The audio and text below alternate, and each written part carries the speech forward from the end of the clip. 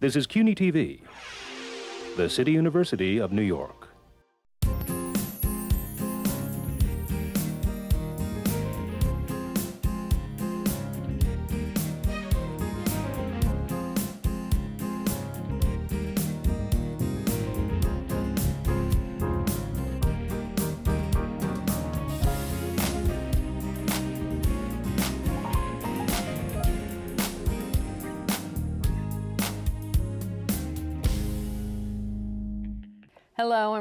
Eldridge. Welcome to Eldridge and Company.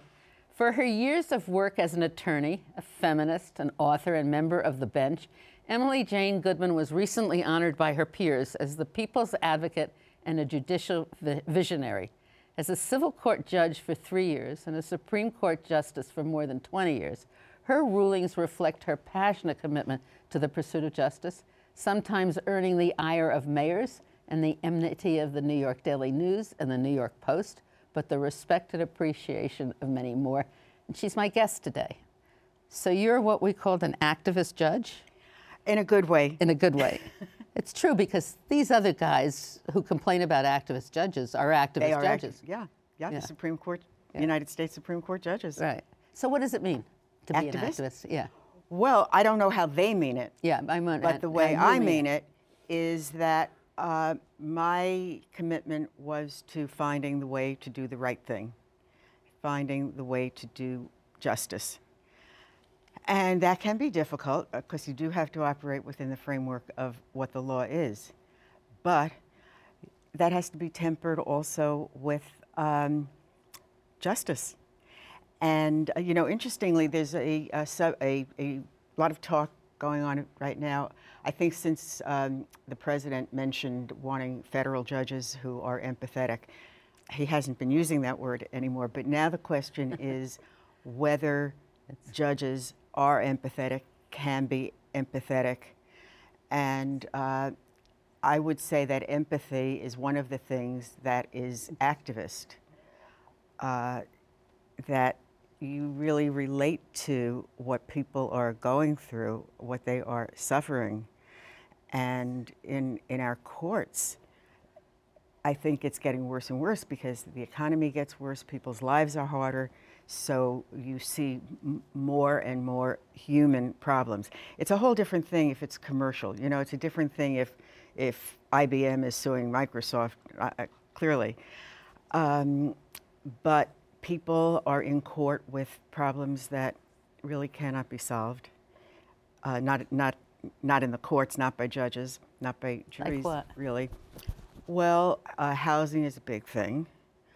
Uh, I'm working on a case right now as a pro bono thing where uh, a uh, NYCHA, New York City Housing Authority, uh, is trying to evict a woman under the following circumstances. She is in her 70s and uh, she is physically and mentally impaired. Well, she's been married for over 30 years, but for most of the time, she and her husband really didn't live together. Um, they had a child who's now, of course, an adult, but um, in 19, I mean, in 2010, uh, she went to live with him in his apartment in public housing. And they're getting old. They are old. He's a lot older than she. And they had a commitment to taking care of each other in their old age. So as it happened, he died first. Now she's uh -huh. being evicted, or they're seeking to evict her because he had not put her name down uh, as an occupant of the apartment, and therefore he never got permission for her to live there, even though they she's his wife and most people would assume that a spouse, you know, our society makes a very big deal about marriage. So right. you would think that a spouse was in a separate category than someone else. Um, and that kind of thing is not uh, unusual. There are terrible, terrible cases involving public housing. Uh, that, that's, that's one example where the institution is not really that involved with human lives, in my opinion. So it is that empathy that. I, I think that's a. I think that is a very big factor, and. Uh, so it means understanding also, that if something's written as an as a a rule it, if it doesn't make sense? Well, naturally, everything has to be interpreted. Mm-hmm. Because if things didn't have to be interpreted, you could just have computers making Mm-hmm. the decision, and the computer could say, if, if this, then that. So everything has to be interpreted. So, are you unusual in having being as empathetic as you are on the bench? Well, I, I'm certainly not, not the only one, uh, but uh, if you consider that you are the product of your life and you see things in a certain way, um, not with Thomas Clarence, uh, Clarence Thomas notwithstanding, uh, I would say if you know if you've had a hard life uh, or not a privileged life, you do see what other people are going through, and if as a, why be a judge unless you are a person who's going to try your best to do the right thing for people? Who needs you otherwise? That's that's what I So, think. w- one of the questions I'm, I'm so interested in is how do people become who they are? You know? How do people become judges? No, just who they are. How do you, where did you get your sense of wanting to have justice in the world, for instance? How, where did that come from? Well, I suppose, I mean, I grew up in a very working class family in Brooklyn. Um, I wasn't ever supposed to go to college. Um, no girls in my family went to college. No one thought it was necessary. And uh, I went to college at night and worked during the day. And that just came naturally, that, that drive to do that. That's a big accomplishment. Yes, well, because I graduated from high school and I was just 16 and I looked around and I said, is this all there is? Now I'm going to be in the typing pool for the rest of my life. So uh, that was not a good idea. So I walked across the street from my high school, which was Midwood in Brooklyn. I walked across the street to Brooklyn College and started college. But uh, it did take about six years going at night. It's incredible because that's an accomplishment. I mean, when I go to some of these places and I see people who are working during the day and going to school at night, it's, it's something, I don't know if it's really appreciated outside of what their accomplishment Well, is. it's hard because it means that uh, you're not there just to have fun Yeah. and live in a dorm Right, work and go night. out drinking. You're really there because you want to go to college. But you don't, you don't have the experience of, you know, a campus Yeah. and all of that, although Brooklyn College has a very pretty campus. So then you went to law school right after that? No, then I worked, but then too I realized, is this all there is? Again, because uh, I, then I discovered that everybody had a BA in English literature, and I was interested in working in publishing, editing, etc. But I would again be a secretary. So I, uh, I had a job at the New York Times as a secretary. And then I saw that the guys who worked there as copy boys could become reporters. And that me, I was at CBS, was the same thing. Okay, so, but, but all the secretaries were women. They could become assistants if, if they got any place, right? Uh, well, as far Yeah. as I could see, you could only rise to being the secretary to a higher level Mm-hmm. editor, but you'd still be a secretary. They wouldn't give you a shot at being a reporter or um, an editor. So I decided I should go to graduate school, and I focused on law school or journalism school. And I, I'd go to whichever I got into first. So I went to law school, but then I also went to Columbia Graduate Yeah, School so of you did both. Journalism. So I, I do have both. So you were just very smart. I mean, you really Oh, worried well- about your future. I worried about my future because um, I wanted a life that was interesting and fulfilling and meaningful and useful. As Marge Piercy has written, you know, to be of use. It's important. Yeah. So, did the bench being a judge or a justice, uh, did that fulfill? Did, was that what you thought it was going to be like? Yes and no.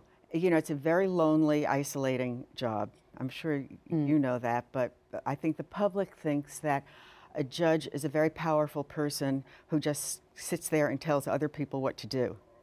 But that isn't the case. For some, it might be. But I, I did not find that to be what my job was. I felt that my job was to do justice. And so that's not, uh, that's, that's the hard part. I mean, I, as I said before, you, if you care about what happens in people's lives, how you're going to get there is, is a big challenge.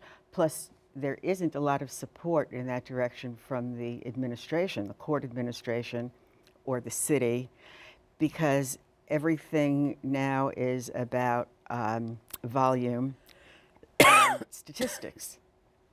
And justice is very elusive. It's about get the, get, get the case over, just sign off on that. Keep it moving. Just keep things so you can take the next case. right next case next case. And it's kind of it, it's a big very big bureaucracy now. And uh, you're on kind of a conveyor belt. And uh, in certain ways it's much harder on the civil side than criminal. Because in criminal and it, this week is the anniversary of um, the decision of, of 50 years ago uh, uh, requiring uh, counsel in criminal cases, but that's not true in civil cases, although the chief judge is very um, committed to having representation in civil cases, but, but that doesn't exist. So on the, on the criminal side, you know at least, for better or for worse, the accused has a lawyer. On the civil side, not so. And where you see that, uh, I mean, I haven't been in uh, uh, civil court for many years, but for example, in uh, housing court, landlord tenant, all the landlords, or maybe 95% of the landlords, are represented by lawyers, and almost no tenants ever are. So they're kind of on their own. They don't know what's going on. They, they make agreements that they will never be able to understand or, or Yeah. live up to. It's terrible. Did you, in the Supreme Court, do you handle both case, both civil and? Well, I did criminal for quite a few years. Then I switched over to civil. In most courts, you do both. Um, but in Manhattan, you're really doing one or the other.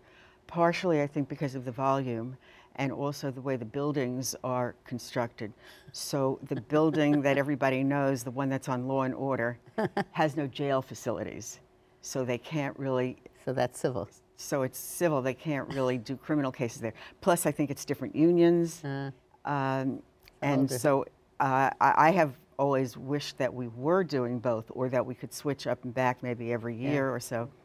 But, But we, that doesn't w- happen. we skipped over all the years that you were not a judge in between being a lawyer and a journalist and, and the fact that you were really a, an advocate for many things. At a women's law center. And you always, were, were you always sympathetic to women? it's so interesting to me. You did a lot of matrimonial stuff. as a lawyer. Yeah. I did. Yeah, because when I became a lawyer, it was 1968. You remember 1968? Everything was happening. Yeah. And it was a great time to be a woman lawyer because suddenly women were saying that they wanted to be represented by women, Yeah. which didn't exist before because there were hardly any Women. women lawyers. Right. And uh, so that made a very big difference. But I saw in my own life, uh, you know, as, as I said before, a girl didn't have to go to college. Right. Uh, I, I, so I um, was very early on aware that uh, a traditional role would not work for me. I w- would not find any fulfillment in that. It took enough. years for me to realize that because my traditional road for my generation was you go to college, you get a job for a couple of years, you get married, and you have children. Well, Mm-hmm. what happens after your children grow up or after you have them? You know, no, there was nothing there for me. yet. Well, but um, of course, you have done everything. but it was all serendipitous. I never planned it like Yeah. you did. You, you were if I- smart enough to know it. Yeah, I don't, yeah, I- well, I didn't think about children really. Yeah. And then I was already, um, you know, past 40 when I started to think about that. And you remember there were t shirts that uh, women had that said, oops, I forgot to have children. uh, because then and now there was always the question of how could you do everything? Yeah. Uh, but but I did I did catch the mood in time. And you had a and I, daughter. and I have my daughter. Yeah. And um, and I'm very happy that that I didn't miss that Right. experience. It's incredible. So, what would you do for the courts now? What would you do for people who find themselves in court? Well, there there does need to be a way to have lawyers for uh, pro se or self-represented litigants. The the law is just too complex, but there's the funding. It doesn't Yeah. exist. You know, there are cutbacks in everything, as, as you well know. And uh, so it's a very bad time to even contemplate that, that there would be a, um, a right to counsel. It's incredible. It's really incredible, isn't it, that you don't have that? And it's very hard to find any, I mean, legal aid or something to handle that kind of stuff. Well, legal aid keeps being cut back too. Yeah. and they have fewer and fewer people and larger and larger volumes of people who need help. You, um, you were quite outspoken about salaries. yes. Did they ever increase the salary? This uh, past year, uh, there was an increase. Um, it, was, it was quite insulting because, uh, though you might say it was better than nothing, but the, law, the judges had set at a minimum we should be paid the same as federal judges. You know, the state court judges do much more work than the federal judges and uh, have a much greater volume. So And what was the salary? The going salary was 100? well, well, for the last 13 years, it had not gone above. It was 137 thousand dollars, and uh, it, it, it, it was stagnating. Uh, the uh, you know your rent went up, but your salary didn't. Right. So a commission was established, and um, unfortunately, the commission w- wouldn't just give the judges or make the recommendation that the judges should get the same salary. They said over a three-year period. So that's where it where it is. There was some increase last year. But you year. weren't making as much as, as a member of the assembly, were you? I don't think. Um, Certainly not as a member. no, no, they get they get less, but but they They can don't do- work. They work part time. They work part time, and I don't think they get they that can have and they can have other careers. But they don't get that much less at all. I don't think. Well, not when they get uh, c- uh, committee chairs Yeah, and their per Right. diem And their perks and all expenses are all paid and everything else. But if they're lawyers, they can have law practices, or Yeah. if they're accountants or whatever. But lawyers could Yeah. not do anything. And you had Judges young, couldn't. you had lawyers appearing before you. A young lawyer in a law firm is making what? 300, Well, they- 200, I don't know how Uh, much they make. these. They were starting at about 165,000, 100, close to 200,000. for a lawyer just out of law school. Right, which is a lot more than than the judge.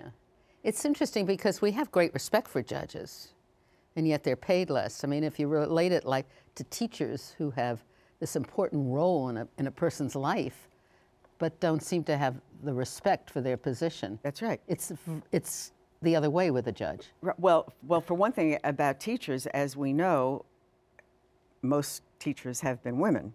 Right. so the job is devalued. And uh, it's, you know, people used to say in Russia, oh, doctors are women. Yeah. But it was not really a highly respected Position. position. See, I think what's happened in the courts, though, is that when all the judges, uh, or almost all of the judges, were older white men, uh, they had the run of the show.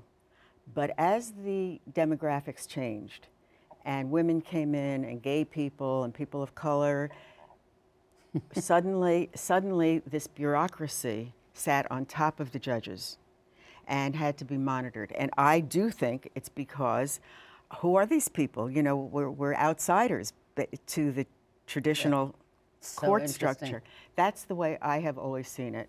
And I do think that that has interfered with the independence of the judiciary. That's so interesting. That's, and now more and more law students are women, right? Yes, just when they can't get jobs. Right. Naturally. So now the field is to become a hedge fund operator or go to Wall Street. Well, So it's all money. It comes down to all money. money. If it's money, you've got power. If it's money, you must be smart. You know, that's my whole thing that I Well- can't stand. so now, what are you going to do to fulfill this drive and Well, I'm, you, you know, have? I've left the bench and um, I served almost 30 years. So I feel like, you know, I did my time. And so, and now I'm, I'm practicing law. And I think that's a much better thing to do than to retire. I wouldn't know what to do if I Can't retire. It's retired. um, and so I have interesting issues to deal with. And, but I, I also have to support myself because all those years that we didn't get a pay increase and I'm living in, in New York City, in Manhattan, I incurred a lot of debt.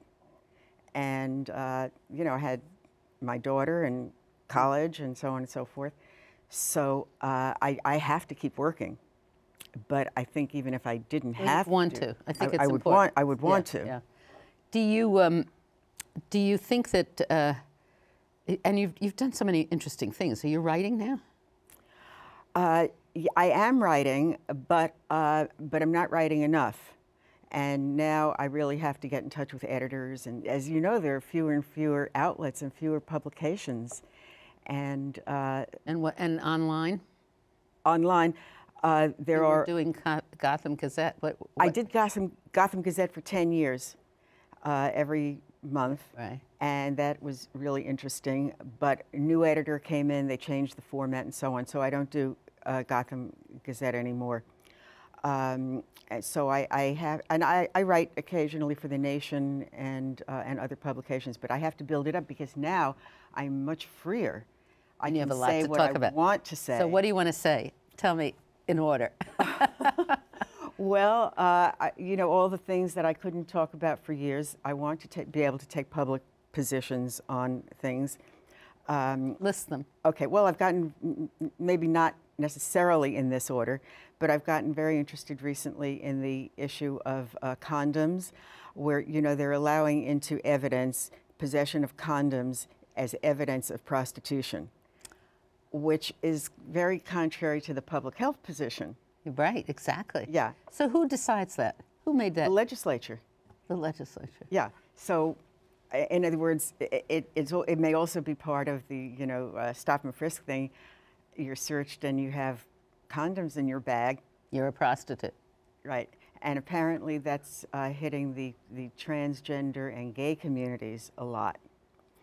Um, I've always been passionate about housing. And you know, uh, my last case as a judge, I would not leave until I finished that case, involved uh, Williamsburg and so called affordable housing, uh, where the, the different uh, groups had been in, combat for years. On one side, the Hasidic Jewish community, and on the other side, everybody else. and uh, so the city had, and the city council had uh, reduced the height of residential buildings so it wouldn't be more than, I think, six or seven stories, where previously it was industrial, be higher. And, uh, you know, the Hasidic uh, community, in, in observing their, the, the Sabbath, they don't ride in elevators, so they didn't really want tall buildings. The other communities said, well, make it a tall building and we'll live on the higher floors. We'll take the elevators. But that was not working out. Um, and in the end, I found that um, there was an extensive hearing, and uh, the city fought this bitterly. Um, I mean, the city was in favor of it. The city was supporting this housing.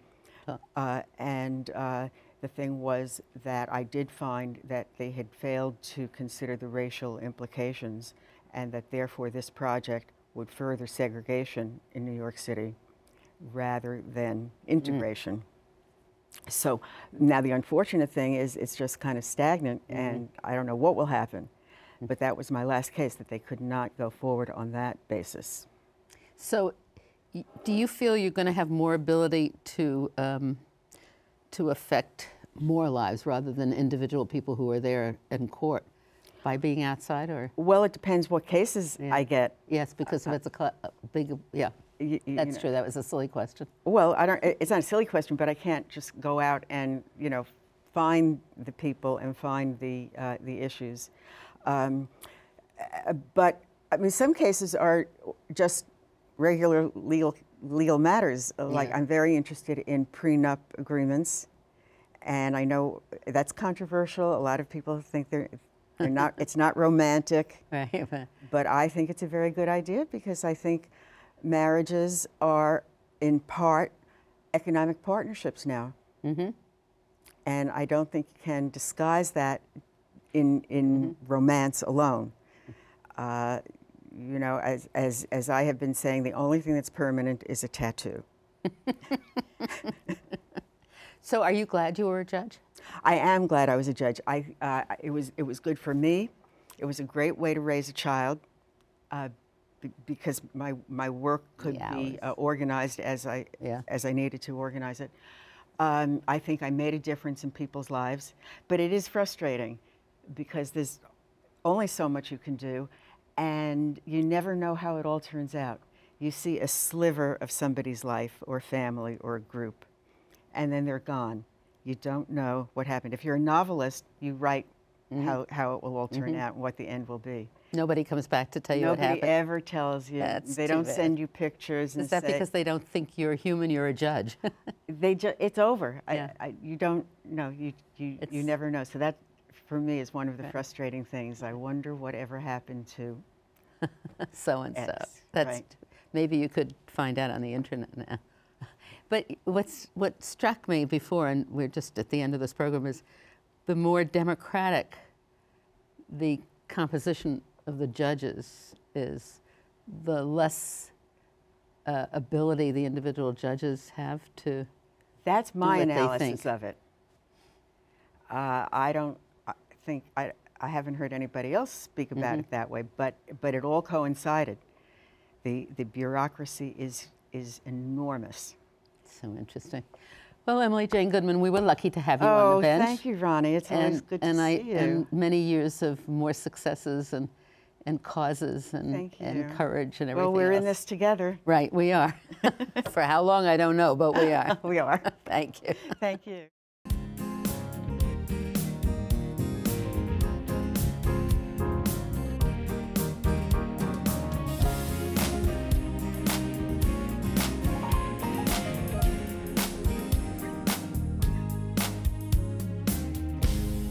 Is there are any people you'd like to hear and topics you'd like us to explore? Please let me know. You can write to me at CUNY TV, 365 Fifth Avenue, New York, New York, 10016, or you can go to the website at cuny.tv and click on Contact Us. I look forward to hearing from you.